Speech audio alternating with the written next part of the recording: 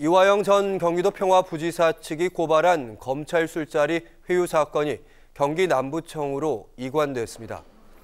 경기 남부경찰청 정례 기자 간담회에서 경찰은 사회적 이목이 집중된 사건인 점을 고려해 고발 접수 일주일 만에 사건을 이관했다고 밝혔습니다.